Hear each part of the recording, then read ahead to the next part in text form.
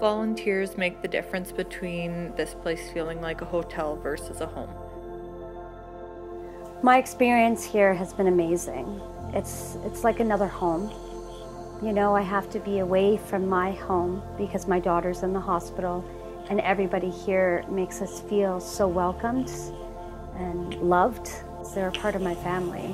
I appreciate the volunteers because without them, I wouldn't be able to bring my daughter to the house every day. I'd be sitting at the hospital because I couldn't afford to take a taxi back and forth every day. So, yeah, the shuttle, number one for me.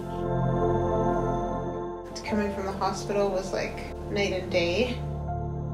I've been flabbergasted by like the people who come in and cook. They do all the cooking and then they're like, "Oh, let me take your dishes." It's kind of amazing what they what they do. It brings tears to my eyes actually that, that people would do that. Yeah, it's pretty nice. Like all the volunteers that cook the meals has been amazing. I always know that there's like dinner and brunch and not having to worry about that. Um, also, like over Christmas, there were so many volunteers yeah, for toys and for um, wrapping gifts and giving gifts. There was just so much stuff, and so many of our like worries were taken away because the volunteers took care of it for us.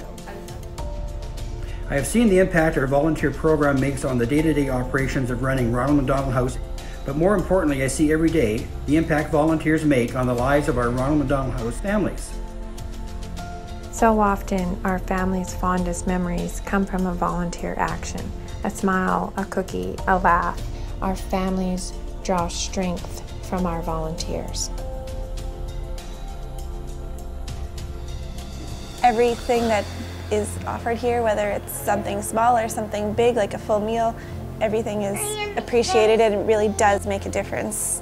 Thank you so much for all your time and uh, we, we, we couldn't do this quite as happily and comfortably as we, as we do without you guys.